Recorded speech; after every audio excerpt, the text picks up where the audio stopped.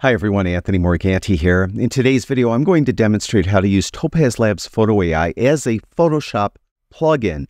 Plus, I have an announcement. I'm going to be coming out with an entire course on Topaz Labs Photo AI. As a matter of fact, I just outlined the course. It's going to consist of 12 to 14 how-to videos. Each of those videos will have a PDF outline that you could download and print at home and you'll be able to download all of the files I use in the course so that you could work along at home. The course is going to sell for $29.99, but if you subscribe to my newsletter, you'll get early access to the course and you'll get $10 off. So you could get the course for $19.99. If you don't already subscribe to my newsletter, I'll have a link to it in the description below this video. Now, how do you use Photo AI as a Photoshop plugin? It's it's easy, but there is a wrong way to do it and a right way to do it. Let me demonstrate. I'm going to open up an image into Photoshop. It's a Nikon RAW file. Whenever you open a RAW file up into Photoshop, it will automatically open into Camera Raw. Now you could do some editing here. You can see this RAW file. It's overexposed. If you ever watched any of my videos, I have demonstrated in the past how to handle images that are either over or underexposed. What I do is I'll go to highlights and take them all the way down, shadows all the way up. Now, in the case of this image, because it's overexposed, I would then go to the exposure slider and take it down. If it was the other way around, if it was underexposed, I'd move it to the right. I'm just going to take exposure down till it looks like it's properly exposed. It looks like it's properly exposed right about there. Then I'll get a white and black point. Uh, the way I like to do it is hold the Option key on my Mac, Alt key on a PC, click on the whites slider. I'll get an entirely black screen. Move this to the right till I see, till I see some color coming through. I'll just back it off till that color dissipates. And that is a pretty good white point right there. Do same thing for blacks. So I'll hold that option key on my Mac in, move this to left till I see some color come through. I don't mind crushing the shadows a little bit. And I'll just kind of eyeball it till it looks decent. That's pretty good. Now the image does have a lot of noise. Now I could do some more editing here, but at this point I think I want to get rid of that noise. So I'm going to open this up into Photoshop by going down here in the lower right hand corner and clicking on open. Now, if you open a file other than a RAW file up into Photoshop, it won't automatically open into Camera Raw. So if you open a TIFF, a, a PSD, or JPEG, it's not going to automatically open up into Camera Raw. If you need to do editing in Camera Raw on that type of file, once you open it up into Photoshop, go up to Filter and then down to Camera Raw Filter so you could do editing just like I did. All right, now, I mentioned there's the right way to do this and the wrong way to do this. I'm going to show you the wrong way first so I can make a point. Once you have the Im image up opened up into Photoshop, you could immediately send it into Photo AI by going up to Filter and then down to Topaz Labs and then over to Topaz Photo AI. And it will take the image and open it up into Photo AI. Now, if you're not familiar with Photo AI, Photo AI has something called autopilot. As soon as you open an image up into it, it's going to examine the image and determine what it needs. In this case, you can see on the right-hand side, it says it needs denoise and it needs to be sharpened. At the bottom, you'll see there's a progress bar. You can see it's going through examining exactly how much noise reduction it needs and how much sharpening it needs. Not only that, it's determining what model to use. There's different denoise models and there's different sharpen models. Now, you'll notice this was a raw file, but it's using denoise. Those of you that are familiar with uh, Topaz Labs Photo AI know that if you have a raw file, that there's raw denoise available. Unfortunately, if you're using Photo AI as a Photoshop plugin, raw denoise is not available. So you have to use just denoise. Now, even with denoise, if I open it up, you'll see that there are three different models, normal, strong, and extreme. For this specific image, Autopilot decided it needed strong and it needed strength at 29, minor de blur at 1, which it didn't move at all. It starts at 1, and original detail at 0.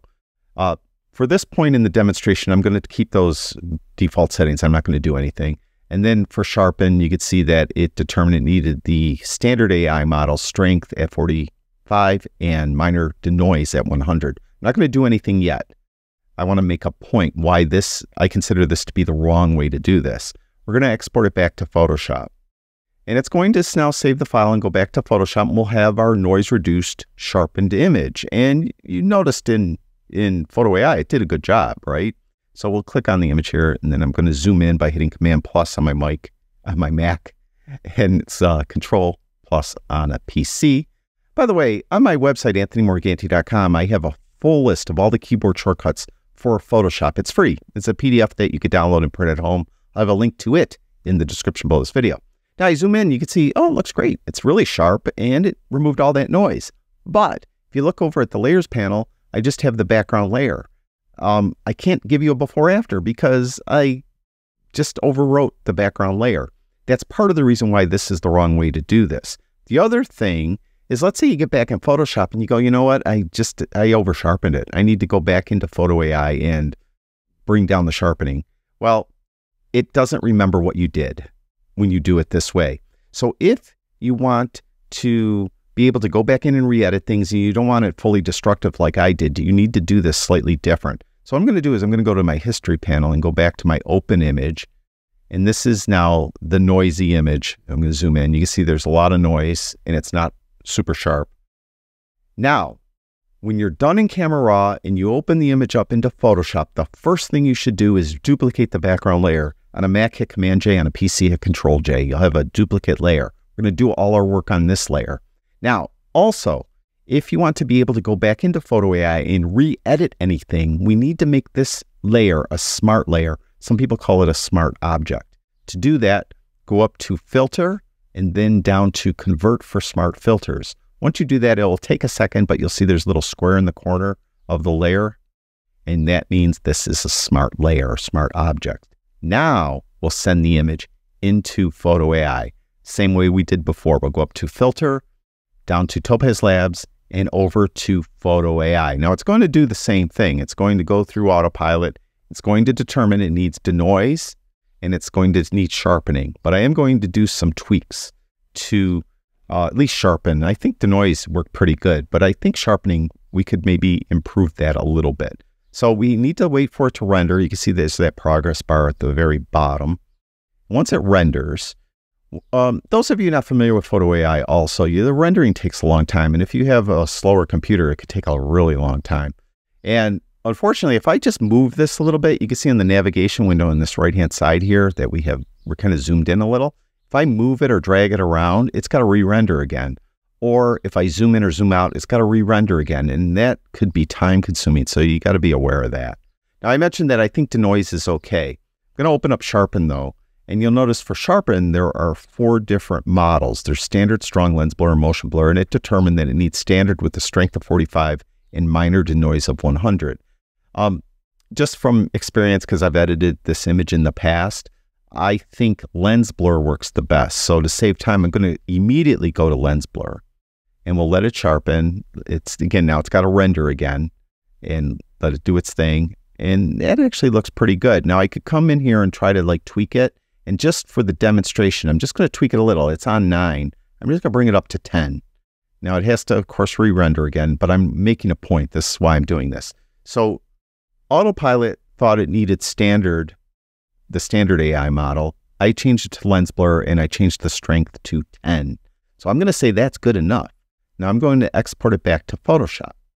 Now, once it does, because I made that layer a smart layer, a smart object, I'll be able to go back in and re-edit when I get into, um, you know, if I determine, let's say, that I over sharpened it or something like that. Now, here's our image here. Going to zoom in. Of course, it does this sometimes. I got to click on it a couple times. There we go. And you can see actually it looks great. It's nice and sharp. It got rid of all the noise. Here's a before and there's an after. Now, of course, the background layer wasn't edited at all. This is why we do it this way. There's before and there's after. But let's just say that I don't like something I did. I maybe that I didn't remove the noise fully, or maybe it's too sharp or it's not sharp enough, and I want to go back into Photo AI. To do that, just double click on where it says Topaz Photo AI. When you double click there, it will bring the image back into Photo AI. Now it's going to go through the autopilot thing again, but it's really not going to change anything that I did previously. Remember when I uh, opened up Sharpen, I changed the model from standard to lens blur. And I moved it, I tweaked uh, the amount or the one slider from 9 to 10. So we'll let it do its thing. Let its progress bar. I think I've wasted a lot of my life sitting in my computer waiting for uh, things to render. All right, we're at lens blur and strength is at 10. So it remembered what I did. That's the whole point of making that layer a smart object. So we're going to go back to Photoshop um, because I just want to show you actually one more thing, one more issue you may encounter. Uh, so we have to wait for it to do its thing and open back up into Photoshop. It has to do with cropping. Uh, you may be surprised that if you crop the image now, after you're done cropping, it's going to go back into Photo AI automatically uh, because it has to re-examine the image because you cropped away a lot of pixels. So let's go, let's do it. Let's go to the crop tool. All right, I'm going to use actually this ratio right here. And then I'm just going to pull it tighter though. Yeah, it looks pretty good. All right, so we're going to click the check mark. Now watch what happens when I click the check mark. It's bringing up the plugin again. Now it's not going to be here long. It's just going to do it all, all automatically. It's going to save it automatically and it's going to bring us back to Photoshop. If this is okay for you, then that's fine. Um, personally, I like to do my cropping in Photo AI. There is cropping available. Now, once it's done, I'll show you. Um, and actually, this save takes a long time. I noticed when you do crop in Photoshop, and it has to briefly go back into Photo AI and then come back into Photoshop, that save takes a really long time. Just be aware of that. But what I'm going to do is I'm just going to show you something in Photo AI. So I'm going to double click on Topaz Photo AI here. And it's got to do the autopilot again. But notice there's a crop tool right here. And again, I'll cover this in the course. And actually in some of my YouTube videos, I have talked about cropping in Photo AI. Um, I recommend if you're doing any cropping to an image to do it here. The reason why is because while you're here, if you need to increase the resolution, if you need to make the image larger, you could go to add enhancements and you could go to upscale. So not only could you crop it, then after you crop it, you could upscale it. So you're not jumping back and forth between Photoshop and uh, Photo AI that much. You could take care of it all at once. And then once you're back here, now a couple things, those of you not really familiar with Photoshop, um, I can't save this as a raw file. It's just not possible. So what I need to do is I need to either um, save it so that I could work on it again. I could go up to File, down to Save As. When I get the Save As dialog, you can see I could save it as a Photoshop file, a large document format file, a Photoshop PDF, PDF, which is, you know, I don't think you'd want that. That's kind of a document file or a TIFF file. I like to save it as Photoshop, have the .psd at the end, and I'll just save it to the desktop. Now that PSD file uh, if I close down Photoshop and then a month later I, I just double click on that PSD file, it will open up in Photoshop and it will have all the layers here. It will remember everything we did. We could go back in and re-edit in Photo AI and all that. So we'll be able to do that. Um, if you want to share this image with the world, though, you're probably going to want to save it as a JPEG or export it as a JPEG. To do that, go up to File, then get down Export, and then down to Export As.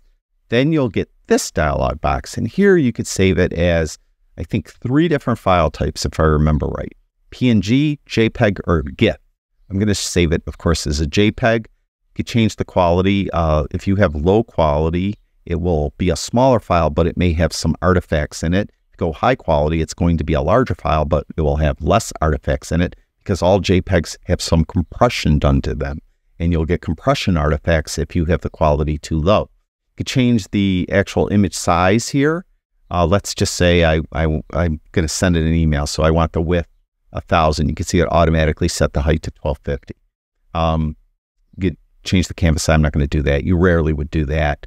You could uh, change the color space to sRGB so you know that it will render faithfully on any device, the color wise. And then you could just click export. When you do that, you'll be asked where. I'm just going to save it to the desktop. You can rename it as well. And that's it. That is how you use Topaz Labs Photo AI as a Photoshop plugin. Of course, in the course, I'm going to go into a lot more detail, talk a lot more about the different models available, explain more thoroughly why the raw denoise model isn't available when you use it as a Photoshop plugin. Of course, we'll be using it in the course as a Lightroom plugin, standalone application. We're going to talk about upscaling and all that other stuff. relighting, uh, color enhancements, all the stuff you could do, and cropping, of course. We'll cover all of that in the course. Thank you, everyone who watches my videos. I really do appreciate it. I'll talk to you guys soon.